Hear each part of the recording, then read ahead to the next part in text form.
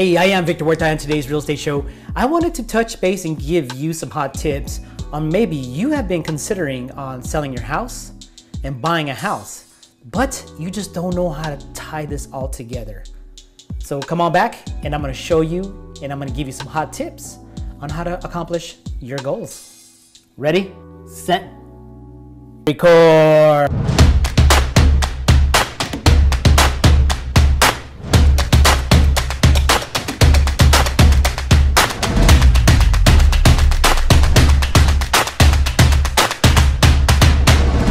Hey, welcome back, my friends, to the number one real estate show where I bring you real, raw, and relevant real estate tips for you sellers and buyers in this game that we call real estate. So, you probably have a lot of questions. Maybe you've lived in your house for quite some time and you're just looking to upgrade. Or maybe you have a lot of cash in your house, just dead equity sitting there, and you don't know what to do with it. And you're looking like, hey, why don't we sell our house, take that money, roll over, and buy another house, and then use some of that cash to pay off some debt, take a vacation, etc. It is your money. You get to choose what you want to do. Now, I know you have a lot of questions because I had the same amount of questions as well. So let's deep dive into the whiteboard and I'm gonna map all this out and hopefully it'll explain everything in clear formats and give you some hot tips on how to go about doing this on selling your house and buying another one. So let's get right into it. Okay, so let's go ahead and deep dive right into the whiteboard and let's get right into this and you'll be seeing me in and out of the video. But for right now, what I wanna do is I kind of wanna draw this out for you. So you are kind of right here right now in this area right here. This is you right here. You are wanting to maybe sell and buy another house and you just don't know which steps you want to take or how to get this. But your ultimate goal is maybe to get over here on this side, okay? And what you're trying to do here is just try to see, okay, is it a good time to sell my house and buy another one? And you have a lot of questions and i totally understand this because right here is you have questions on the sell side and then you have questions on the buy side. And right here you have this big old gap that we have right here. This gap right here is where all the questions are at and this is what causes a lot of fear where you don't know how to you know how to do this and what the process is.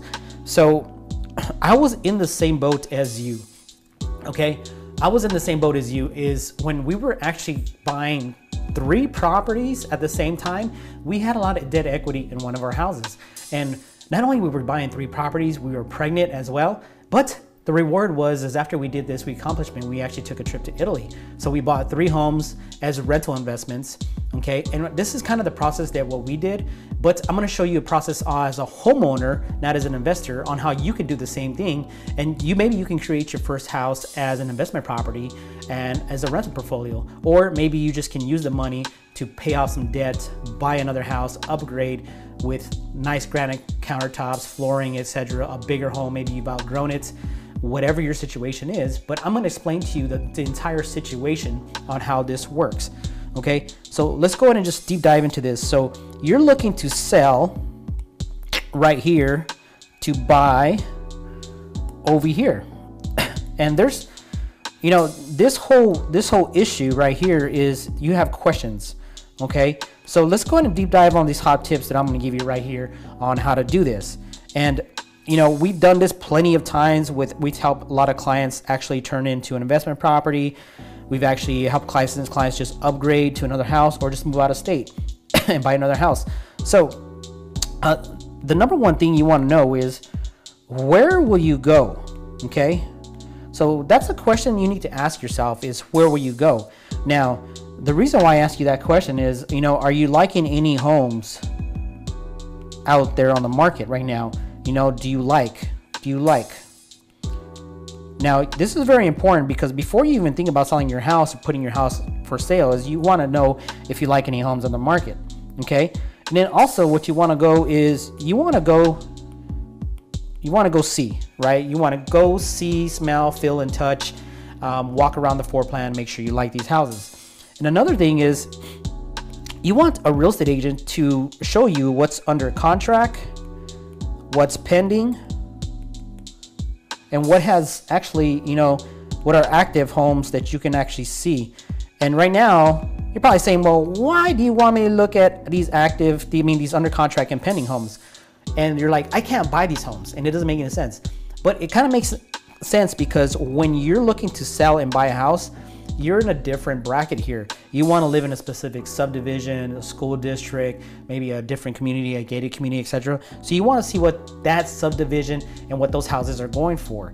Okay, so that's very important. So let's deep dive, and that's the first step is just knowing where you're gonna go. Okay, the second step is a huge step right here, which is you want to pre-qual, pre-qual yourself. Okay, and it's very important because one, maybe you can buy the next house with not selling. Okay, this is huge. And what I mean by that is gonna make the move a lot easier from house A to house B because you don't have to do this all at the same time. You could sell your house and then actually, I mean, you, you don't have to sell your house. You can buy the other house and then put your house on the market later. Or if you find another house, buy your house, move all your items to the new house, then come in and sell your house later. Now you'll have to factor in the, the double payments that you'd be paying, but maybe that's a better opportunity than doing it when you have to sell. Okay, because when you have to sell, you have to do this all at the same time. Okay, when you pre-qual, so you can pre-qual these both ways as not selling your house and selling you and um, and selling your house. Okay, it's going to depend on your debt to income ratio and how much payment you can afford by doing this transaction. Another thing it's going another thing you can do is how much down payment are you going to need for the new house, okay? And you also want to know because if you're upgrading, you want to know what your payment's going to be to make sure you can afford it before you even sell your house, okay? So these two items are big too as well. Is your down payments moving forward and how much your payment is going to be. And then a couple more things is um, if it's if it's going to be contingent on you selling a house, okay? And what I mean what I mean by contingent is when you're contingent on selling a house is you have to actually sell your house, okay, before you buy your house. So you can't buy your house unless it's contingent on you selling your house. That kind of makes your offer a little bit weaker if somebody else is just coming in with 20% down and buying the house outright.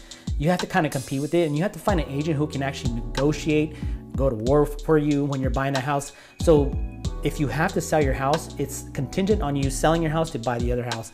It kind of gives you a way out as well if the buyer that's buying your house can't commit to buying your house and you have an offer on this other house, well, you can get your earnest money back, but you're back to square one.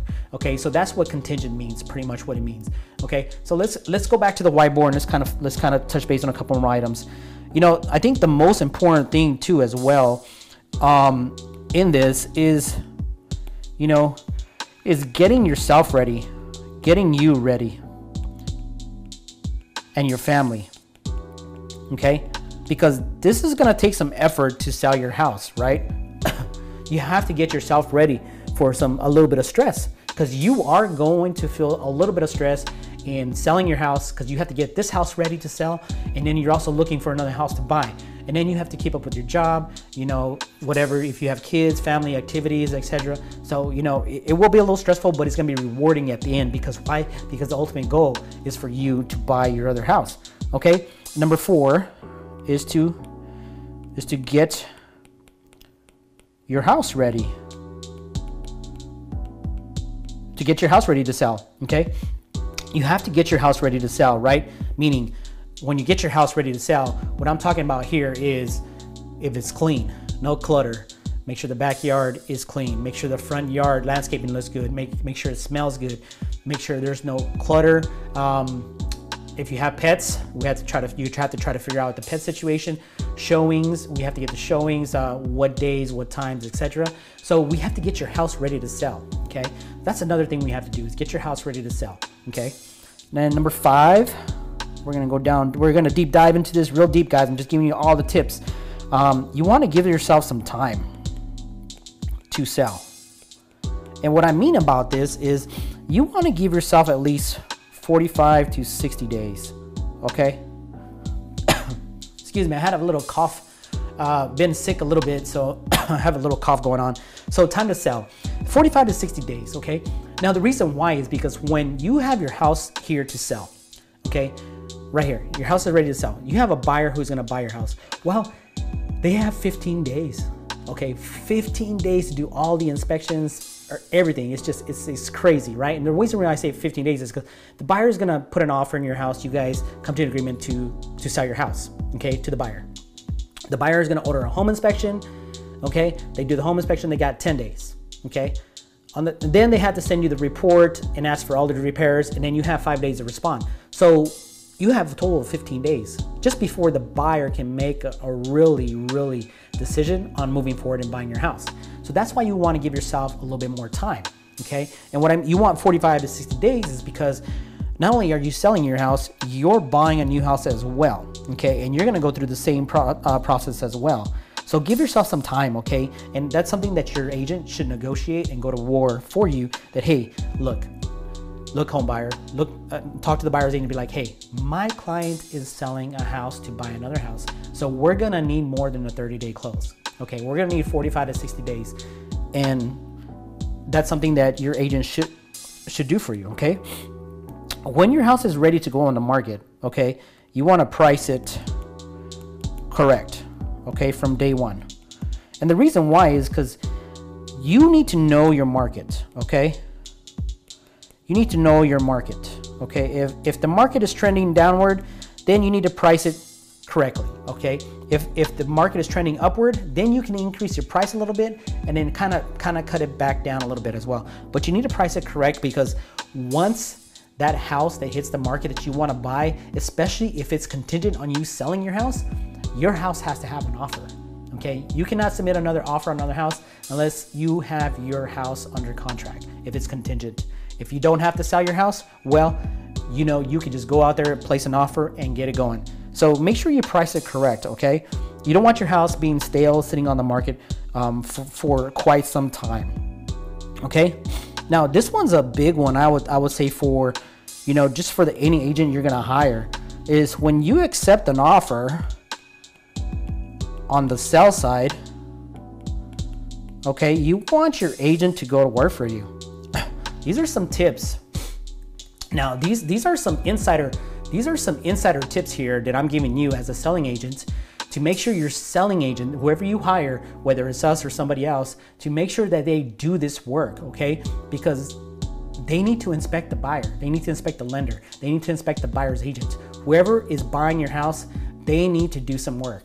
Okay, it's not just putting your house on the market. Oh, we got an offer. Here we go. Let's go buy another house. And then it falls apart, and then it causes stress for everybody, especially you. Only you. You know, you're gonna handle most of the stress. So let me give you some really quick hot tips here on what to do here. Is you want your selling agent to make sure they get a loan status update every seven days from the buyer's lender. Okay. Now, what that's going to do is that gonna that's going to give you an updated your selling agent and you how their loan is doing on the buying side when you're they're buying your house.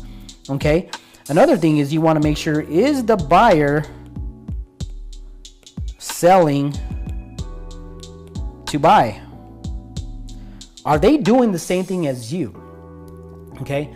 Are, are they actually selling a house to buy your house?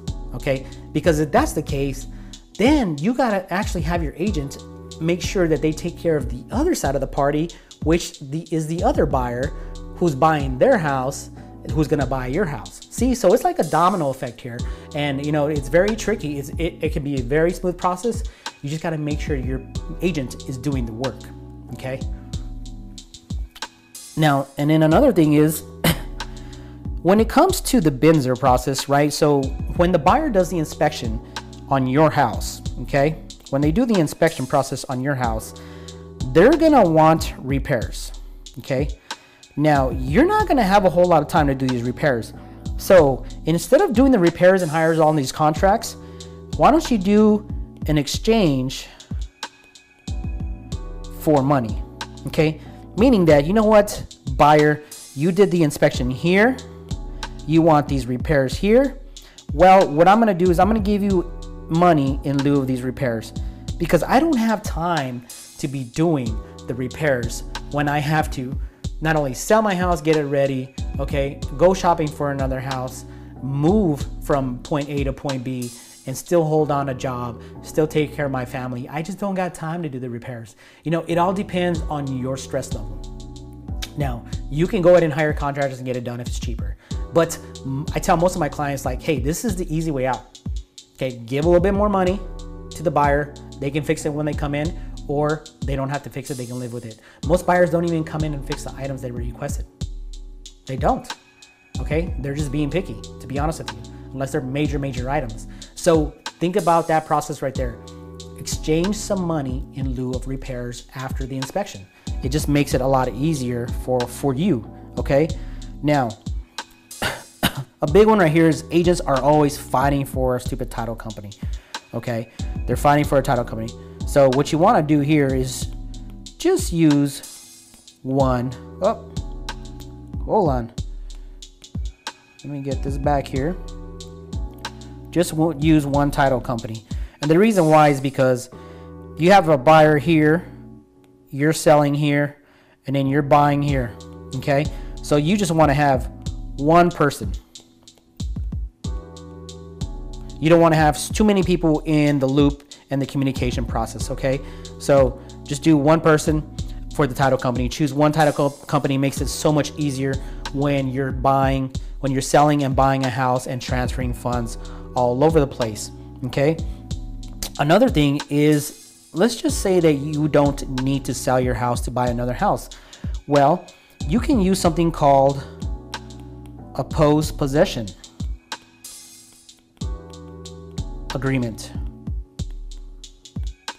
Okay, now what this means is you're, you're pretty much the buyer that's buying your house that you're selling, okay, and you're buying another house. Well, you don't have to sell this. You don't have to sell to buy this house, okay? And what this means is like, hey, buyer, you can buy my house, but I'm gonna need like two to three days to move my stuff to my next house. Okay, so I'm gonna need to rent back my own house to move. Okay, so this is a very powerful move because it, this allows you some time to, this allows you a lot of time to sell your house. Okay, and the buyer's like, okay, well, I don't need to move in that fast as well because I'm coming in from out of states. I'm coming in from an apartment. My lease is not due. Maybe maybe they have a lease on a house and you know they still have like 15 to 20 days, well, you could be like, well, I'm gonna need some time to rent back my house to you and I'll pay you a daily rate in order for me to move and get everything ready to my new house. That's a very powerful move, okay? It's it's a little tricky on how to do, but most brokerages will brokerages where real estate agents are at, they allow them to do that. Some don't. We've done this plenty of times. We've done a post possession, we've done a pre possession agreement. You know, we just got to make sure that all the information is correct, not only from the lenders, the title companies, and all the agents. It can be done, but it actually saves you a lot of time. Okay, a lot of time and a lot of stress. Okay, so let's go to number 10. Man, I hope you're enjoying these tips because this is some really good stuff here. You know, if you are contingent on selling your house, meaning that you have to sell in order to buy another house, well, then you're gonna have to do a one day move. And then you're probably like, a one day move? What do you mean a one day move? That that is impossible. Like there's no way that can happen. It can. Okay, it's a one day move, and let me draw this out to you. It, it's very very simple. Okay, you think that you're you have to sign all your docs to sell, sign all your docs to buy, and then move on all in one day. No, that's not the process. When you sell your house, you're gonna sign like five to seven days in advance when you when you're buying your new house, you're gonna sign three to five days in advance. So the only thing you have to worry about is just the move. Okay, we do all the paper shuffling, we do all the money shuffling all over the place, and as long as your agent preps you in advance, this is very doable. It is very very easy um, to do. We've done it ourselves in our personal lives, and that's why I say it's very easy. You just gotta make sure you do the prep work. Okay, so let's let's let's help, let's uh, let's do this uh, drawing real quick. So you are right here. This is what you're this is you're selling your house and then you're buying this other house, okay? What you're to do here is you're to move in one day. Okay? And what I mean by this is you're to transfer all your stuff here. So what you're to need is you're to need a moving truck, okay? A moving truck is so easy. In the AM, in the morning, you're packing all your stuff into the moving truck and then your moving truck is trucking over here and it's gonna come over here and deliver all your items. Okay, one or two trips, three trips, whatever it is. Okay, and then in the PM, you are at your new house. Okay, now what this does is this makes it kind of simple. Is while you're doing this, you have your your lender, your realtor, and title working for you, and you don't even know it in the background. So they're just what what they're doing is they're just shuffling all this paperwork. Okay, so they got all this paperwork, your loan docs, etc., and they're shuffling it from one place to the other. Okay, so and then you got another party over here. If you look at this correctly, is this is your other the other party who's buying your house. Okay, this is the buyer. Okay, you're selling over here and then you're buying over here. Well, what the title company is doing is is they got all the paperwork for each transaction. Okay? And then remember, this seller is also maybe buying a house or leaving out of state. So they're taking care of almost like four transactions at the same time. So you all you have to do is concentrate is on the moving side. Okay, day one, one day move. That's what you're concentrating on. Is right here is a one day move. Okay, this is what you need to concentrate on is this one day move. Okay, let everybody else take care of everything else and you're good to go. Okay, I, I know it makes it seem a lot easier, but this is one of the tips I always give my clients is hey, just just take care of you, we'll take care of the rest. Okay, and that's number 10. And number 11, oh, let me do this, wrong color. My daughter loves this theme. She we do some math here and we do letters and reading. So uh, number 11 is, you know, you need to celebrate celebrate and take a vacation, okay? Because you just went through a whole process right here. You know, celebrate, take a take a vacation, okay? And the reason why I say that is you went through a lot in just selling your house and buying a house and moving and doing all this work. And you know, it is stressful. I'm not gonna lie to you, it is stressful. We've done it plenty of times. But these 10 steps, 11 steps, I hope they make it a lot smoother and easier for you because once you have a plan and mapped it out, then it makes it so much simpler. So I'm gonna drop the show notes down um, in a link below. So if you wanna download them, it'll kind of give you a guide of what's going on. There's a lot more, there's a little bit more items that can go wrong. There's, I mean, not go wrong, there's a little bit more items that I can actually list. I just don't wanna make the video too long, but I just wanted to give you the top 11 tips, okay? So I hope you enjoyed this video, but I mean, I'll, I'll drop the show notes here, but pretty much that's what it looks like, okay? There's a really good 11 steps that I just gave you, and it's all mapped out here. And what I'll do is, is I'll drop my show notes that I have as via text and kind of give you uh, an example of what to do. Um, if you want the image, I, I, probably can capture the image as well and give it to you. But uh, that's pretty much it. How to sell your house and buy another house at the same time. Those are 11 awesome tips. Um, we do have more tips that we can go over, but just didn't want to make it too long. But we just hope you enjoyed this video. Hey, so I hope you enjoyed that video and those 11 tips, and hopefully that'll help you when you're actually selling to buy another house. And once again, I am Victor Huerta, and thank you for watching the number one real estate show where we untangle all the real estate lingo so you can make a better sound decision whether you're thinking about selling, buying, or investing in the Valley of the Sun. Hey, do us a favor, head on over to our YouTube channel, hit subscribe button where we give you all the home buyer and home seller tips free to your video. If you hit subscribe, click the bell, you'll get notified via email when our next video drops. And of course, of course, the next whiteboard video is coming soon.